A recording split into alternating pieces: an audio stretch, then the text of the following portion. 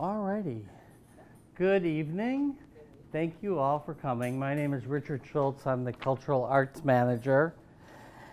And we are here this evening to deepen our knowledge about arts in cities. And this is part of our ongoing effort to develop an arts and culture plan. It's our 10 year plan that will guide us in terms of programming and uh, related activities to arts and culture. So tonight is uh, part of a three event lineup. Yesterday we did a community workshop and we'll be doing another one tomorrow. At the front table here we have a card which gives you the details of tomorrow at the Senior Center in which we'll be doing a community workshop. Think of it as an opportunity to hear about where we are with the arts and culture plan and to provide some feedback and dialogue about the process and where we're going in the coming months. Um, also at the front table, there's a survey you may have seen. Please, you're more than welcome to take it with you, fill it out, as well as there's some small business cards which give you the information if, you, if you'd like to do it online. So lots of options. Tonight we are, are thrilled to have Lynn Osgood with us. She's with Go Collaborative, and she's our consultant working on the Arts and Culture Plan.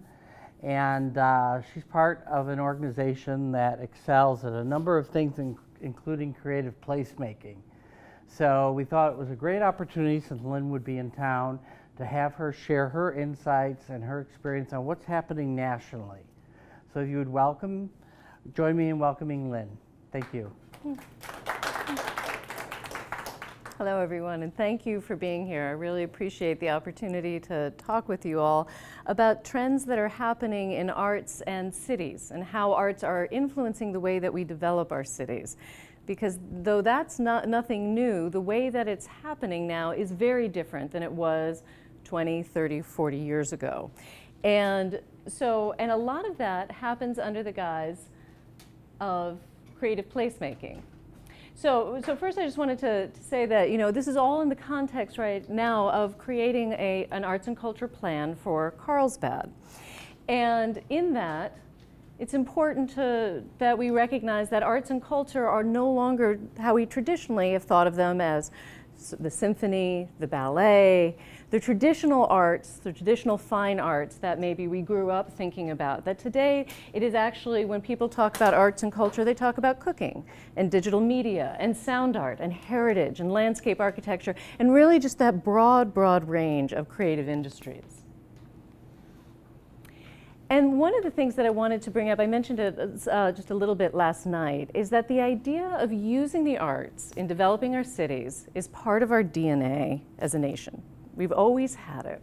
And it actually started, we can trace its roots back to when the industrial city came about, and uh, 1860s, 70s, 80s, and urban conditions changed radically. It was at that time that civic associations started to form, to start to address. We've always had that as part of who we are. That's always been charted historically as who we are as a nation but in America, we do it really well. And these civic associations started to come together here in Carlsbad, many, to improve the city. As the library and helping downtown, helping State Street a lot of these associations then developed into arts association, realizing that the arts could be used to contribute to the way to make cities better. This is Grand Central Station in New York City, um, and it was the Municipal Art Society in 18, uh, that started in 1893 that helped to create the mural that if you've ever stood in Grand Central Station and looked up, it's this exquisite mural of the constellations. And without the Municipal Art Society, we would not have that mural, which is such an integral part to that experience of being in Grand Central Station. And they had a lovely phrase as they looked to help the arts create the city. They said, We cannot love our city unless we make our city lovely. And this was their rallying cry. And today we have the same evolution of that energy and those ideas here um, and across the United States. But whereas I think traditionally we think of the arts as we help to create our cities in things like commemorative statues, this is FDR the FDR Memorial, or even contemporary murals. This is one of, I love this one, this is in Glasgow. This is a patron, patron saint, uh, much like a Saint Francis, but in contemporary clothes. Um, though we think about um, civic art, art that helps contribute to our cities as murals or statues, the conversation really within the last, I would even say eight years, has shifted radically. And it has turned to a field called creative placemaking. Now, for people who are architects or designers or engineers, people who have always done placemaking, they're, they're a little bit taken back that now the arts field is suddenly calling it creative placemaking. that they think it's always been creative, and it has. But what's different is that now artists are right in the middle of the conversations about how cities get built. It's not coming at the end of the equation. It's not that the street is built and then the piece of art comes. But the artists are there from the beginning. And so what this means is that the artists have to be in partnership with nonprofits, with municipalities, looking for larger philanthropic dollars that's going to help fund these partnerships, that's going to create new ways of thinking. Artists are most often used in terms of thinking, of bringing innovation to the equation and of bringing deep engagement, things that often city projects have problems bringing to the fore, but that artists are so good at. And so the way to think about this, I, lo I love this phrase, is that art is not a flower, but it's a wrench. It's no longer just a noun, just a thing, but it's a verb. It's something we do. And so to, it, I think it, to, to, help understand this, it helps to tell a story. And so the story is how this all got started about eight years ago or so, was with a man named Rocco Landesman, who was the director of the NEA. Now, Rocco Landesman was the producer of the Broadway show, The Producers. So when he came to the NEA, he really understood how to bootstrap a project. He knew how to get money to the table to make something happen. And what he saw when he talked with the other heads of federal agencies was that Housing and Urban Development had funding for the arts, transportation had funding for the arts, but the arts budget, the federal arts budget, was getting smaller and smaller and smaller. So he said, you know what, we, we've got to change this conversation. We can't keep doing it as we traditionally have. Because so often, traditionally, the arts were viewed as the frosting on the cake. We have to make people understand that it's one of the ingredients of the cake itself. And so what he did was that he, start, he created a program called Our-Town. And the Our-Town program man, uh, gave out about quarter million dollar grants to artists who were explicitly working with cities in partnership to further a community development goal of some sort. It could be physical, it could be the creation of a park, it could be working with the Health and Human Service Agency. It could be, it, whatever it was, it was defined by the municipal partner. And so, um, and so what that did is then that, the, that program actually spawned another philanthropic organization called Art Place America. They are now a consortium of Rockefeller, Ford, Kresge, Surdna, three national banks. And they're working, they're going to sunset in 2020, but they're working as hard as they can to, to have these funding ideas go farther and further sort of down the, the philanthropic stream, so to speak. So whereas now it's Rockefeller and Ford, the conversation is now coming to local uh, philanthropic organizations, and they are giving out hundreds of millions of dollars. And so, what's in part of the reason why, why cities are really going are bringing artists into the equation of city making is that there's philanthropic money out there that really wants to see this happen because they know that the arts can thrive in contexts that are not traditional. So what I want to do tonight is just tell you four stories. Four stories. These are case studies. Um, so one of the things that my firm did about five years now was we worked with the NEA to create an online portal called Exploring Our Town, which did 70 case studies of projects all over the U.S. that explicitly involved artists working with cities to, to further the city's goals for the development.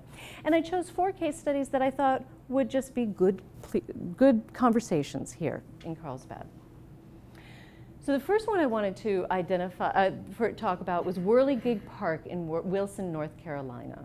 And the reason I chose this was because I, I love this example, uh, the example of a community finding what its cultural core is, working hard to try and identify that. And what it came, so Wilson, North Carolina, um, just to give you the background story, five, about 50,000 people population outside of east of Raleigh. Um, it was a major tobacco area, but then when the federal tobacco buyout came, the international tobacco buyers left and the economy of the town crashed. And 20% of the people now are under the poverty level. And buildings were vacant, and they had to, they were trying to figure out who are we in this equation and what do we do for our economy? Well, in their midst was a man, Vollis Simpson, a World War II veteran, who was a machinist, who worked as a machinist in the area, who happened in his spare time to make these whirligigs. And, um, and they were wonderful contraptions, really just of his own invention that he really just kept to himself on his property. But that didn't go anywhere. The town realized this is our treasure. This is who we are. This is our scrappiness. This is, this is Mr. Simpson right there. And so what they did was that they, they, did, they formed a partnership, and the partners were the Wilson Downtown Properties, the North Carolina Arts Association, the City of Wilson. They also brought in the National Parks Foundation, the Los Angeles County Museum of Art, the Smithsonian. And what they did was they said, we have a national treasure. We have a national treasure in vernacular art. And we want to put Wilson on the map, not just for the whirligigs, but for how it is that we can bring integrity to the preservation process. And so they worked with the Smithsonian, they worked with the National Park System, and they developed techniques for restoring the whirligigs. And not only that, but they worked with local so, uh, social service agencies to do job training and job development. They actually created 17 part-time jobs and two full-time jobs out of this project. And they um, eventually they brought they brought um, all the whirligigs to one site and restore and now they have restored most of them. And they have de developed new standards and protocol for vernacular art restoration. And they have, um, they have gotten more grants to help create a downtown park that is specifically centered around these whirligigs. They now bring in 50,000 people a year as visitors, and just in the first couple years, they, um, well, no, they estimated that in 10 years that they would bring in an additional $40 million into the economy of the town, just by restoring their own treasure, their vernacular treasure. And I think Carlsbad has such high standards for everything they're, they're doing. I just, I love the story of them raising the bar for vernacular art. Okay, the other one, the uh, second one that I wanted to talk about was um, Art Prize in Grand Rapids, Michigan. I'm, I'm curious if anyone has ever heard of it. You have. Have you been there? Have you experienced it? I, I lived uh, right near Grand Rapids. Oh. Okay. Uh, did you ever visit it or? No, I never visited. Okay. When they started it, yeah. It was, um, well, and you can tell us about Grand Rapids. Uh, it, it's, uh, you know, it's a, it's a lovely town. Um, you know, it's experienced, like, like most post-industrial cities, it experienced that sort of evacuation of downtown. It was a car culture. Um, even though, you know, it had very walkable city, uh, very walkable areas, but but like most of us in the 90s, we were very car, very car, or our cities were very car oriented. And so an entrepreneur, uh, Rick DeVos, who, who is related to our uh, education secretary, Betsy DeVos, um, I think he's their son-in-law or something like that, um, decided, you know what, we, we need to bring art downtown to, make to give people a reason to walk downtown and to expose people to contemporary art. So what they did was they created a radical program, a, a radically inclusive program where anyone could come and propose, not accept, but propose an idea to put in a public space in downtown Grand Rapids. And Art Prize helped to coordinate it. But this is the thing, they didn't curate it. What they did was they formed kind of like a dating app.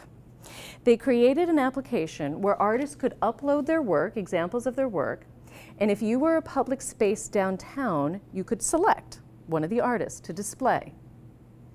And, and so it wasn't, so Art Prize did not curate. Art Prize handled the advertising. They worked, they worked closely with the city to help make sure that everything was coded correctly. They worked with the Downtown Association to help welcome the artist.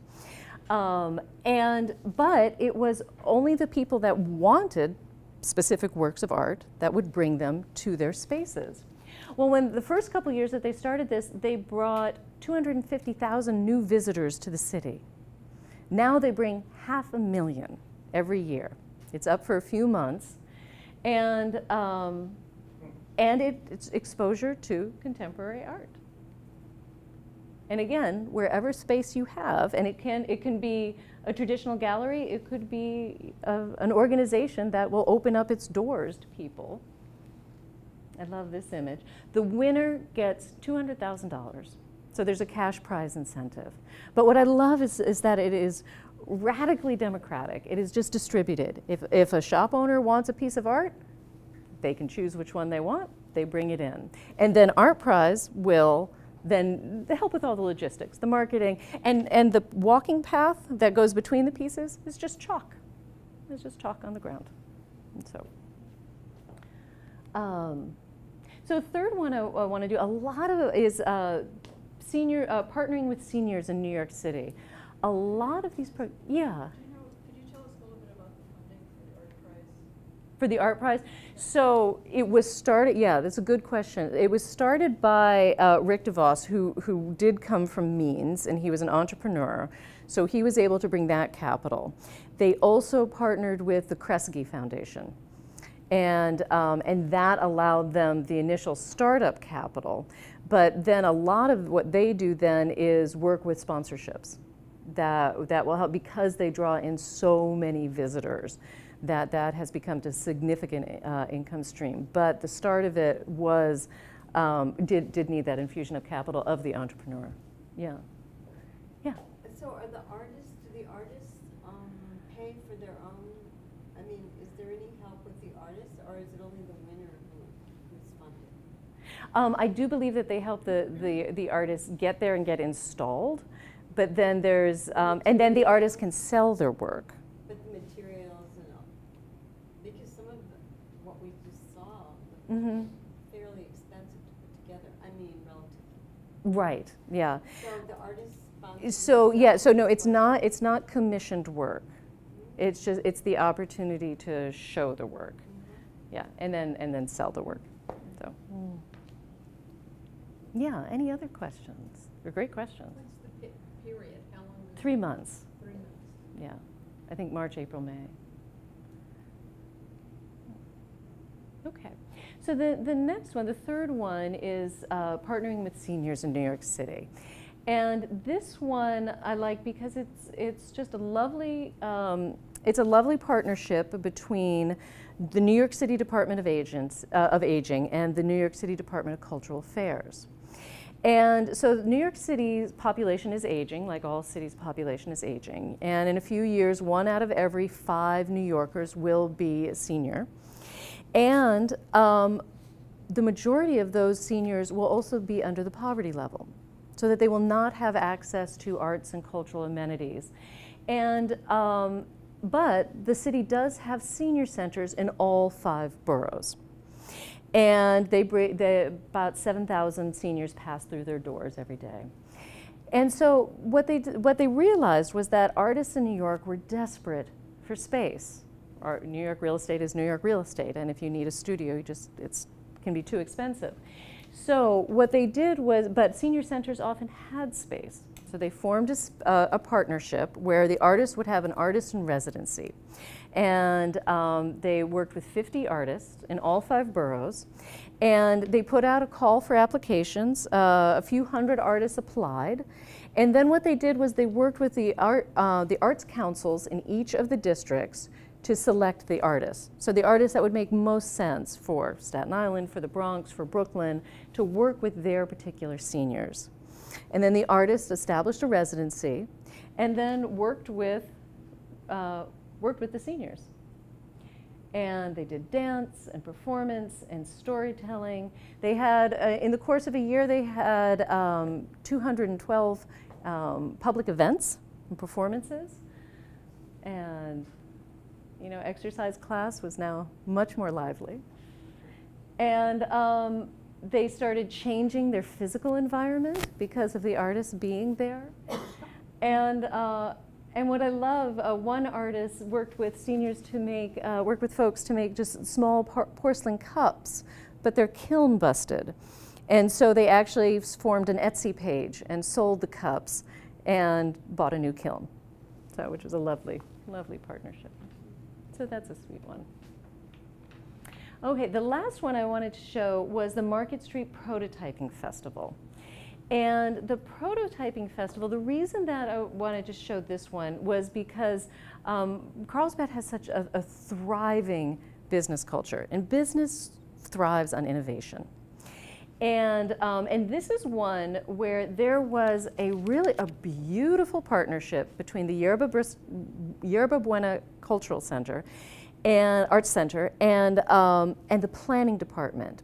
And when you talk to the people involved, what was so interesting about this partnership was that it wasn't that just the, the cultural center decided, hey, we have an idea, city, will you help us with permitting?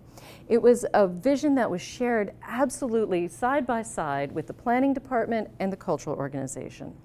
And that vision was that they wanted to radically rethink Market Street. Market Street, which ran through the city, but that just did not feel very engaging. So the city wanted to come up with new ideas, new ways that ideas that people could re-engage on the street. The arts organization wanted to support artists and come up with some really good ways and really push the envelope for how people could think about this. So this was the vision that they wanted to get to, a, a new vision for Market Street, but they didn't want to do the, the typical planning process because we all know how painful that was. And so they are planning, but in a radically different way. And they're planning by first thinking of let's just think completely outside the box. Let's think in radically different ways. We may never actually have these as street furniture, but you know, but we're going to experiment with different ways that we can come together on the city streets, be with each other, talk with each other, and spark some ideas, some conversations that are going to open up the conversation for what Market Street can be, rather than assuming that just the best practices are going to answer the question of what it needs to be. And so artists, um, so they um, did, a, did a call for, for proposals. They got a, a couple hundred submissions. They um, they worked with many of them. This is one where if you sit here and stand there, you have to sit and stand in certain configurations, and then the, the fountain will, will spurt. And so, but you have to figure it out, which means that you're going to have to talk with a stranger to get, that, to get the piece to work. And just beautiful and delightful, fun ways. Um, I love this one of just start a game of ping pong with your new friend on the street. Um, have a different experience, and just think of the street in a new way. Think of the street through the eyes of a choreographer, a musician, an artist. As an urban planner, I know that, they, that it, that's different thinking. And this one I had to show because this is actually one that is made by the San Francisco Library in coordination with the uh, Public Works Department. So this was their installation. So as, as I mentioned before, these um, creative placemaking is all over the United States now. It's in rural, tribal, mid-sized cities, small cities, dense urban cities. People are really looking and saying that art can take a radically different role in how we develop. And so if you're interested, this is the website that we developed. Um, it has two sides. It has the project showcase and the project insights. And in the project showcase, there are, there's over 70 case studies. Um, it was a project that nearly killed us, but it was, it was a wonderful project to do. Um, and, and just all sorts of stories of different ways that cities are, are working in collaboration with artists to, make, to, to further everyone's goals. All right. Well, thank you all. thank thank, you you all all for for being coming. here. Really appreciate it. Mm.